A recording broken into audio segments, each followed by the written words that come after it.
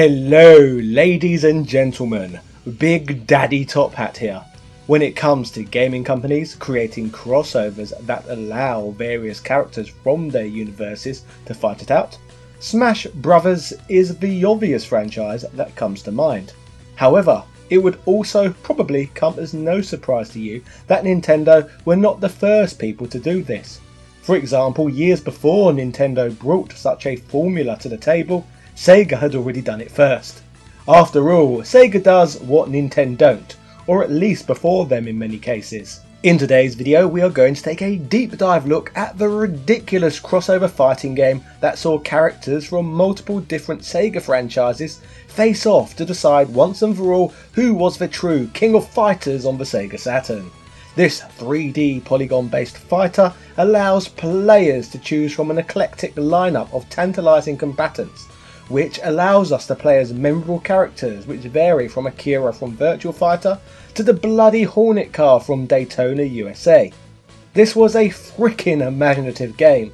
So, without further ado, this, ladies and gentlemen, is the mad story of Fighters Megamix, the ridiculous game where you can even fight as a car. Yeah. Many years before Nintendo had established their Smash Bros franchise and created the worst and most immature fanbase in all of gaming, crossover games were known for more than just fans smelling bad, online lynch mob campaigns, and dozens of allegations of inappropriate behaviour towards minors. In an era before the Smash Bros. community had tarnished the crossover medium, there were great crossover games with squeaky clean reputations. Debatably, the first ever crossover fighting game would arrive in 1993, with the release of SNK's Fatal Fury Special. Basically, in this game, if the player met a certain set of requirements in a playthrough, they could face off against Ryo, a playable fighter from Art of Fighting. This feature in the game was well received, so just one year later, in 1994, SNK would release The King of Fighters, the game featuring the crossover narrative as its main selling point, offering a large roster of playable characters who gamers could take control of in 3 vs 3 encounters. The game, with its huge for its time roster, featured fighters from Fatal Fury, Art of Fighting, Ikari Warriors, and Psycho Soldier.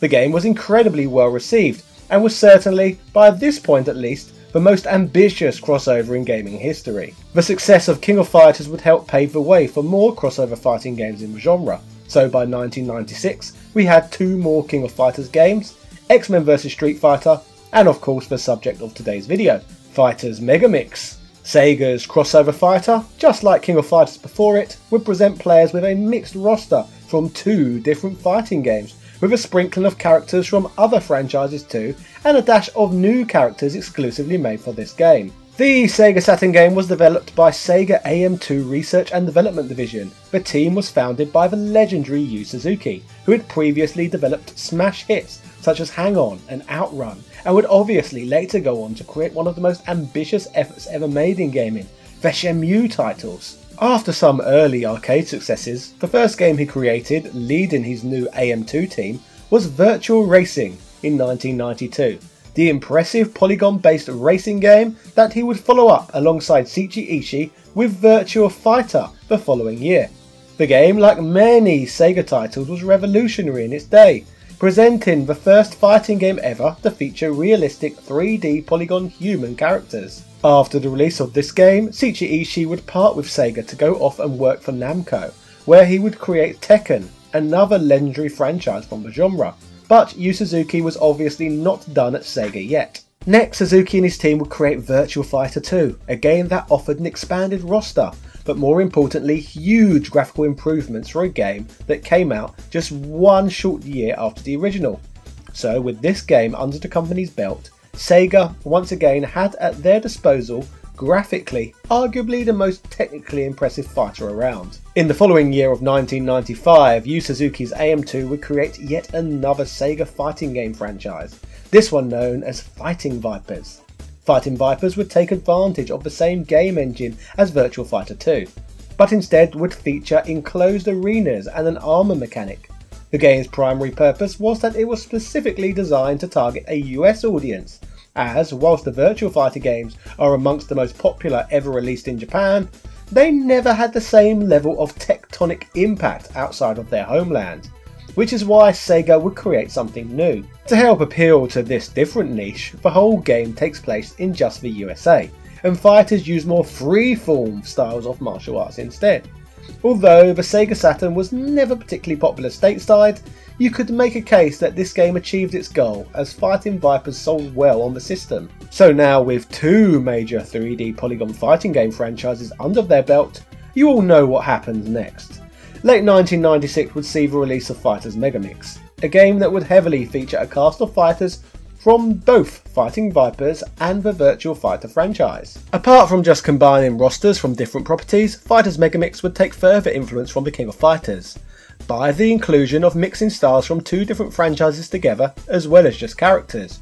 For example, closed war arena stages are included like in Fighting Vipers, along with open-ended rings like in Virtua Fighter, although you can't knock them out of the ring this time around. Despite the fact that Fighters Mega Mix was developed for the Sega Saturn and features roster members from Fighting Vipers and Virtua Fighter 2, surprisingly the game shares many mechanics with Virtua Fighter 3, a game that was available by that point in the arcades and intended to be ported to the Saturn, but ultimately cancelled for the system. Due to the Virtua Fighter 3 mechanics, Fighters Mega Mix features many Virtua Fighter 2 characters with their updated, newer Virtua Fighter 3 movesets. The game also marks the first Saturn title to feature the dodge move, another mechanic created for Virtua Fighter 3 that was integrated into this title. Apart from the common elements shared with Virtua Fighter 3, players have the opportunity to switch between two distinct playstyles, which are of course Fighting Vipers or Virtua Fighter. This feature determines the match type two fighters must face off against each other in, basically the ground rules for a contest. When playing using the Fighting Vipers play mode, it allows fighters to knock each other back further distances, and to take advantage of air recovery. The Virtua Fighter style on the other hand features higher float heights, remaining more faithful to the fighting found in that franchise. Further from this, whichever play mode you opt for, fighters from each franchise have further features that differentiate them, such as Fighting Vipers characters come equipped with body armour, so they can take less damage until the armour is destroyed, and virtua Fighters have the additional attribute of having particular moves that are effective in destroying the Viper's armour, to help create a more balanced experience I guess. The game features many other play modes one would expect from a fighting game, which vary from a two player versus mode, team battles, and a standard survivor mode. However, the most intriguing of all is what the game refers to as one player mode, which varies greatly from an arcade mode which we get with most games of this type. When selecting this play mode, after selecting a fighter, players are then presented with four courses labelled A to D to choose from. These courses indicate which series of fighters a player must defeat, so they must defeat six characters in a row, followed up with a seventh fighter who is a secret unlockable character.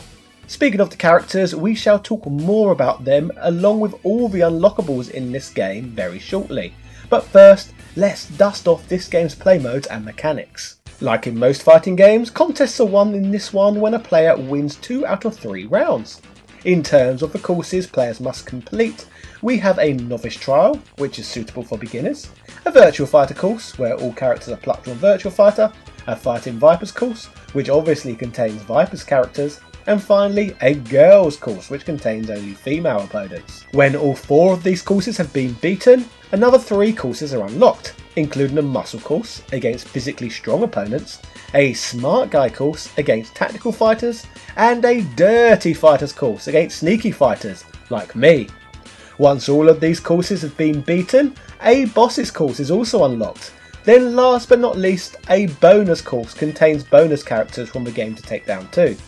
All in all, with this mode's vast array of unlockables and different courses, I can safely say that Fighters Megamix certainly offers a single player experience with arguably more replay value than most fighting games, since this one certainly offers a lot more than a simple arcade mode. Now, I guess with a crossover fighting game, or any fighter for that matter, it is extremely important to talk about the game's roster, and as you can probably gather, Fighters Megamix offers a mega mix of interesting fighters to choose from. The game initially presents players with a default lineup of fighters from Virtua Fighter 2 and Fighting Vipers. As mentioned previously in this video, we have 11 fighters representing each side, so everyone will have their favourites here. My particular favourite being Kuma-chan from Fighting Vipers, a simply amazing bear mascot in a hat who has zero points of articulation. A bit like a Watch Mojo host, I guess. Either way, an amazingly creative fighter. Now, to me though, it is the unlockable characters who feature as some of the most interesting and ridiculous characters in this whole game, and one of the main reasons why people still bring this game up quite a bit even now. The first unlockable fighters we shall touch on come from Sonic the Fighters of all games, AM2's arcade exclusive fighting game that featured roster members from the Sonic the Hedgehog franchise. But rather than including the likes of Sonic the Hedgehog into the Mega Mix, Sega boldly chose to promote Sonic the Fighter's less well known characters in this crossover. Instead, we got Bark the Polar Bear, the scarf, beanie hat, and mitten wearing heavyweight, and Bean the Dynamite, a green duck who wears a neckerchief and Sonic's famous shoes. This character, who is clearly based on the main character from the old Sega arcade game Dynamite Dux, alongside Bark the Polar Bear, would appear in this game roughly the same size as humans. Another interesting factoid is these bold pics would appear as illusions in Sonic Mania many years later, so Sega still have not forgotten these obscure characters. Next up we have Deku, an original character created for this game. This fighter is a green bean, but in a hat. To unlock this Mexican character, the Dirty Fighter's course must be completed. Thinking about it, this is not the first time I've seen a Mexican character made exclusive for a crossover fighting game. Marvel vs. Capcom 2 has Amingo, so maybe these Japanese companies felt they needed more fighters to appeal to Latin American markets. Who knows? Either way, we can all agree that Amingo and Deku are ridiculous. We then have Janet Marshall, plucked straight out of Virtua Cop 2, another popular Sega title released in a similar time frame. Janet can use her gun in combat, shooting unblockable bullets that result in devastating damage upon her targets.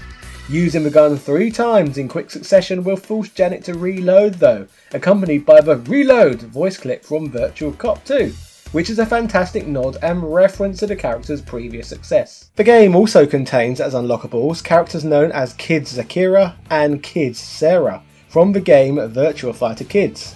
Virtua Fighter Kids was basically a chibi version of Virtua Fighter 2, a bizarre trend in Japan where they would re-release fighting games but for some reason decided to try and make the game's intimidating fighters look cute instead. I have to say some aspects of Japanese culture still baffle me as the existence of this game comes across as pointless and nonsensical. In fact, I'm going to explore this phenomenon further when we look at Pocket Fighter in a future episode as this is a depthy topic for another time. So stay tuned for that upload. We also have Rent a Hero from the Japanese game simply known as uh, a Rent a Hero. This action role playing game star received his combat armour by accident during his parents' housewarming party when he ordered pizza from Sensational Cafeteria, and instead received the suit. After realising the suit gave him incredible strength and that he is required to pay for the armour, Taro decides to become a hero for hire, performing various heroic tasks and odd jobs for the townspeople of Kuldja. Rent Hero obviously makes his fighting game debut on this occasion. The game also features Siba, a character we touched on last year in my Virtua Fighter video. Siba is a character who was cut from the game but still included on cabinet artwork, baffling players everywhere. This Arab fighter uses his sword in combat. An improved version of the Fighting Vipers character Bahn is also included in this one, known as Ura Bahn.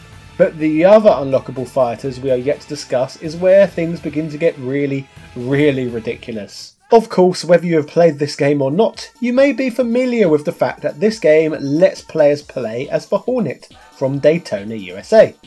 Hilariously, this vehicle stands on its back wheels and boxes using its front wheels.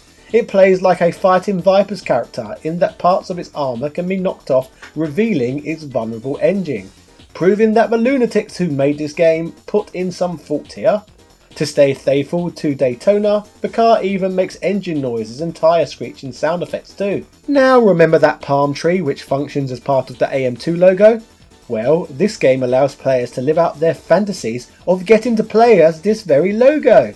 Players can unlock this wonderful character by racking up 84 hours of playtime with this experience, then selecting Kuma-chan with the Z button.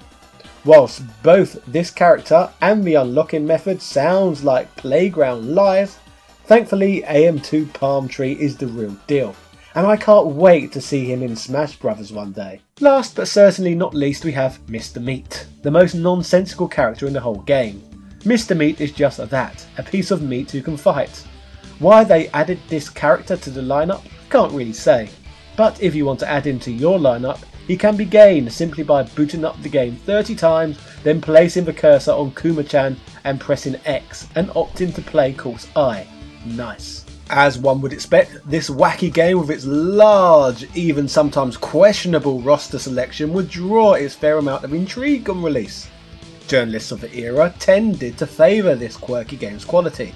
Game Informer, for example, gave it a 9.25 out of 10, adoring the game's roster and varied movesets. In fact, they would give it the highest score they had ever awarded to a Saturn title. Sega Saturn magazine would state it is different enough to Virtua Fighter 2 and indeed Virtua Fighter 3 to warrant immediate purchase. The fact that it has a huge depth and gargantuan levels of playability helps too. GameSpot summarised, if you don't own a Saturn and have even a passing interest in the Virtua Fighter series, this is probably the game you could use to justify purchasing the system. GameSpot would further add that matching up brawlers from Fighting Vipers and Virtua Fighter 2 is inspired thinking.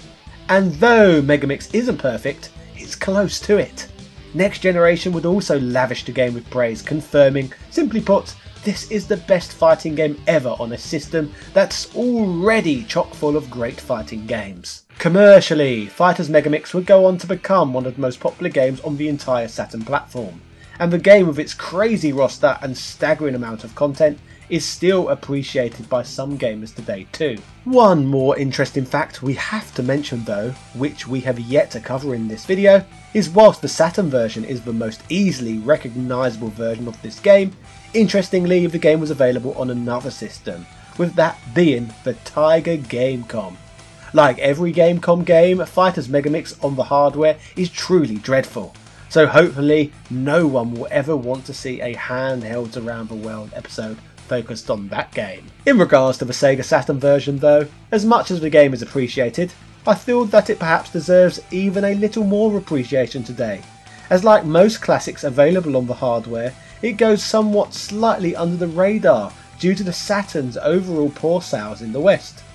Like, I would say there is way more reason I would want to revisit this game than Smash Bros. for the Nintendo 64. It offers way more content and options. It is certainly one of the most unique crossover fighting games of all time, and who would not want to play as the Daytona car, the AM2 tree, or the glorious Mr. Meat? This is an underrated classic. So, ladies and gentlemen, that was the mad story of Fighters Megamix, the ridiculous fighting game where you get to play as a car.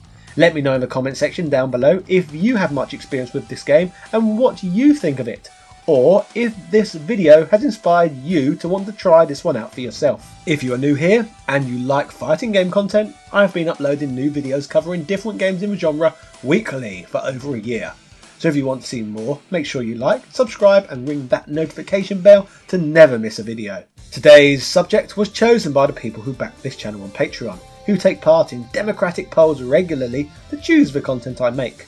If you want to vote, join my Discord, gain early access to all of my content, and get your name in the producer credits in these videos, then you may want to consider checking out my Patreon page. Special thank yous go out to Sebastian Velez, Carl Johnson, The Murder of Crows, Heyo Paulo Lopez, Joseph Razmek, Doug Perkins, Lou Johnson, BXL Gotham, Rowan Dinch, Evan Balder, Philip Manth, Camber Rambo 82, Azra Warakai, Keith Ferguson, Dropquin Morella, Prince Knight, Michael Cullix, Ego, Jordan Durant, TOG Driver, Angel Light 85, Alethea Swanson, Timothy W. Haskins II, Nick Daniels, Princess Zana, Carlos Domingos, Glenny Glenn, Daniel Daly, Computer Man, House of the Ted, SpongeMatt B, Gary Pinkett, ECU Professor, Aaron McNamara, Instant Gratification Monkey, Man Shovel, James Bishop, JB, Post DXL, Michael Hall, Wesley Sang He, Ron Stud, Isabel End, Langston Miller, New, Brian Barry, Stephen Lewis, Sarah Powell, Lamik Renee, Sarai H. Al Sarai, Marinara Liga, Chris Cole, Adrian Hannington, Bernard NG, Richard Stew Stewart, James McDonald, Crazy Yarl, Dan Van Dammit, Adam Casting, Gregory Smoragiewicz, Lewis Viant, John Bates, David Bowell, Chris Fisk, Paul Elliott, Me Machine Dean, Mike Bruno, Rick67,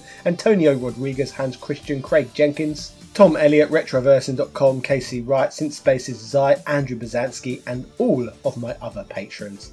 Thank you so much for helping the wheels to continue to turn on this channel. Yeah. Cheerio.